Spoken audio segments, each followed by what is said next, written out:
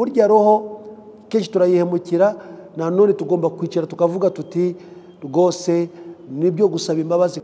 Niyo mpamvu imana itubwira kenshi iti uduhuni asitajibe lakomu ni munsabe nzabaha. Byaba biteye agahinda rero kuba imana ikwinginga ngo saba ntusabe. Allah ashobora kwihutisha ubusabe bwawe akabuguha bitewe n'uko wasabye. Ushobora gusaba imana uti imana nyagasani imibi n'ibi n'ibi n'ibi rwose. Bugacya ubibonye cyangwa nyuma y'iminsi mikeya allah akabyihutisha cyane ukabibona.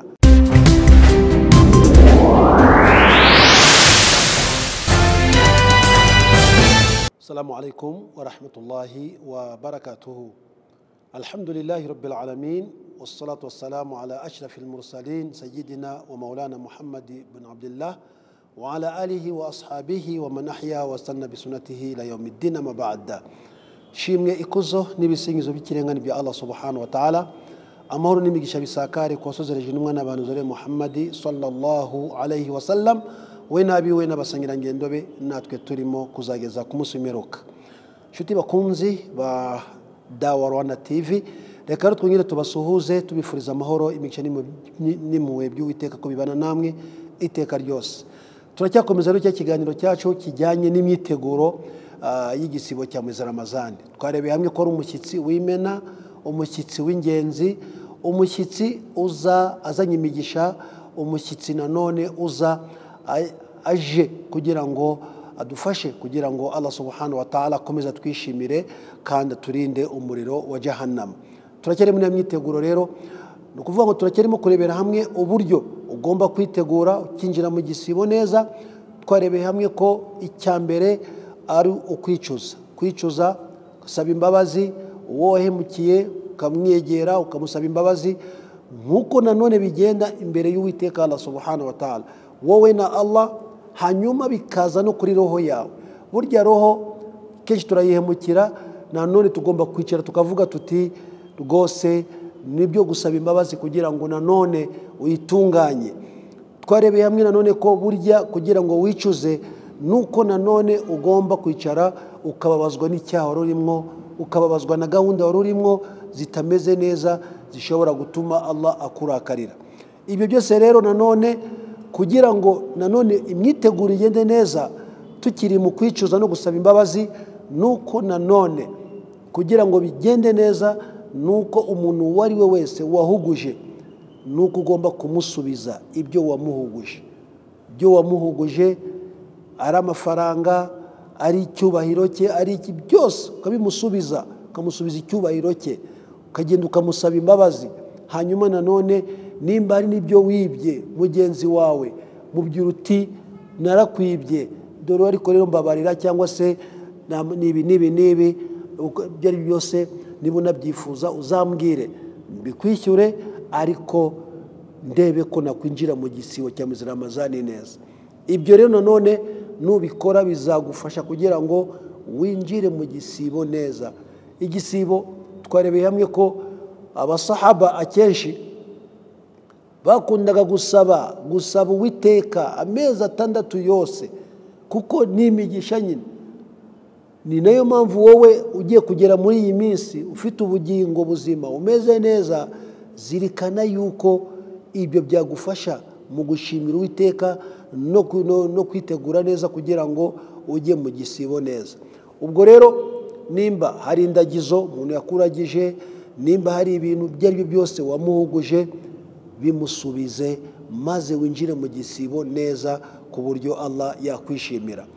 Icyo nanone kikatugarura nanone muri ya myiteguro cyane cyane mu gusubiza ibyo wahuguje mugenzi wawe nuko nanone ugomba kuzirikana yuko mu gisibo nuko ugomba gusoma iduwa nyinshi cyane. Ubusabe? Ubusabe bube bwinshi cyane usaba uwiteka ko Allah yakugezayo amahoro hanyuma nanone unasaba Allah ko yaguha ibyiza yaguha ingabire z'iki gisibo hanyuma kikagusangura amahoro umeze neza cyane.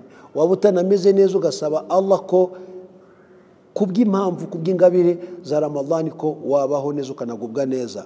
Burya rero intumwa y'imana muhammadi sallallahu alaihi wasallam niyo yakunze kuvuga kenshi igira iti adu'au muhul ibada. Ngo burya ubusabe ubusabe ni bwo niryo zingiro ryo kujya ibada ryo kugandukira uwiteka. Ni ukuvuga ngo igikorwa cyose ukora iyo wagikoze neza uba uri mu busabe.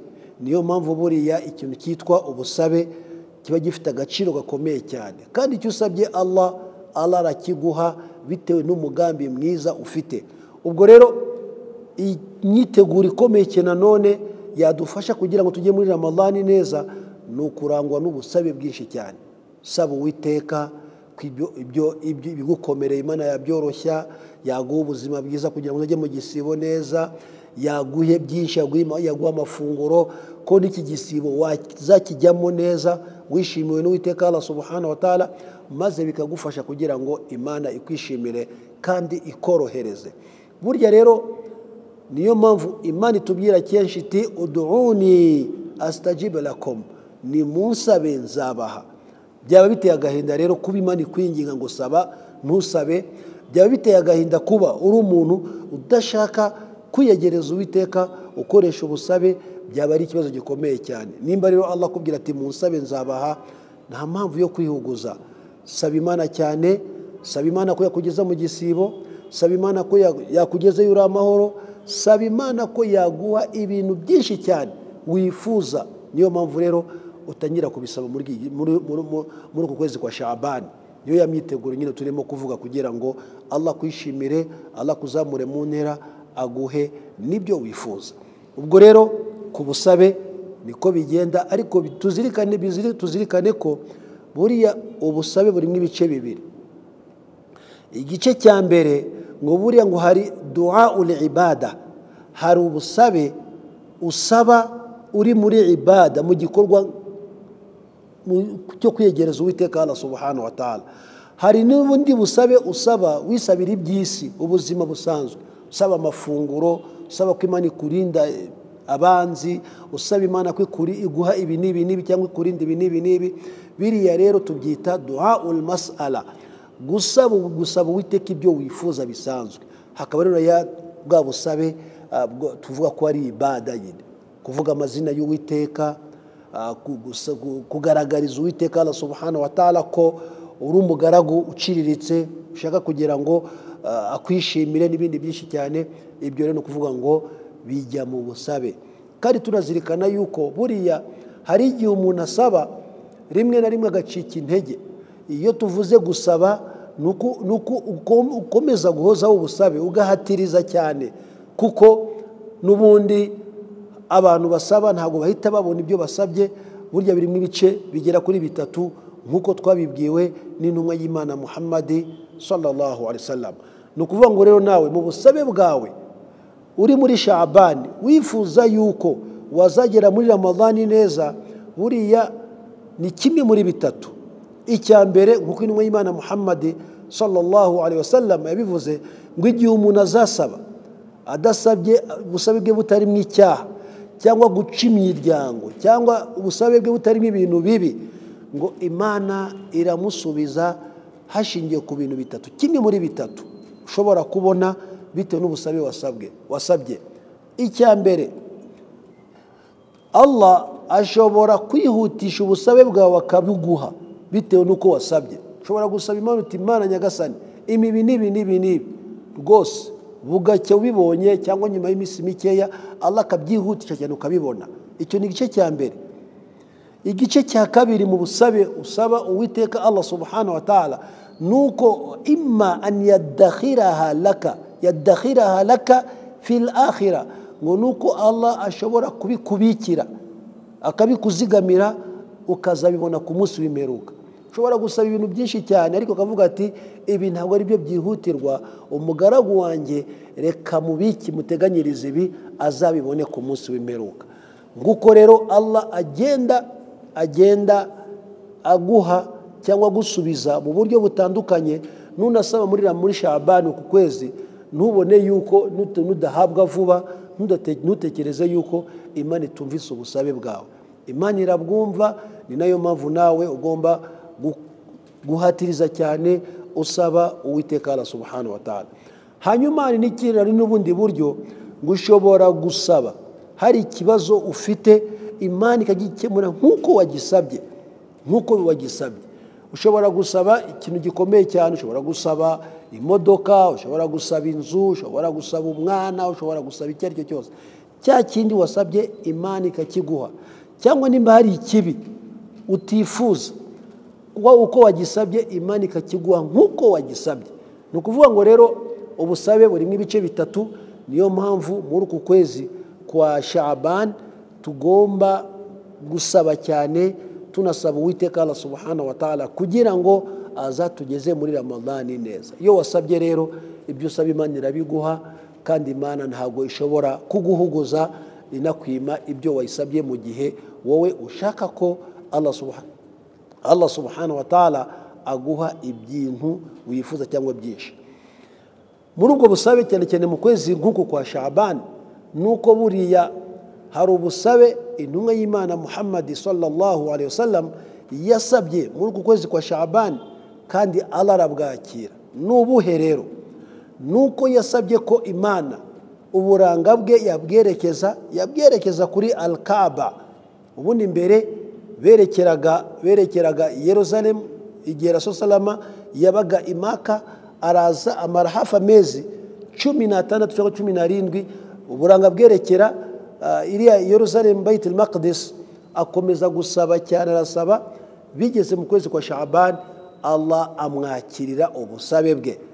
Ni ukuvuga ngo rero buriya ni agaciro ka shabani rero. Ibyo usaba Allah arabiguha.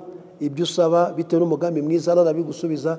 Niyo mpamvu rero tugomba gusaba cyane kuko mu gusaba harimo ingabire nyinshi cyane n'ibyo twifuza Allah arabiduha ariko bikaganisha kuri ya myiteguro yo kwinjira mu gisibo cya Ramadan dusaba byinshi cyane dore ko ari ukwezi kw'ingabire ukwezi kw'imigisha niyo mpamvu tugomba gusaba cyane dusaba Allah subhanahu wa ta'ala byinshi dukeneye byinshi dushaka kugeraho n'ibyifuzo bitandukanye ariko tugasaba ntitukagire ubugugure mu gusaba twicare dusabe dusaba uwiteka subhanahu wa ta'ala ko yaduha byinshi cyane.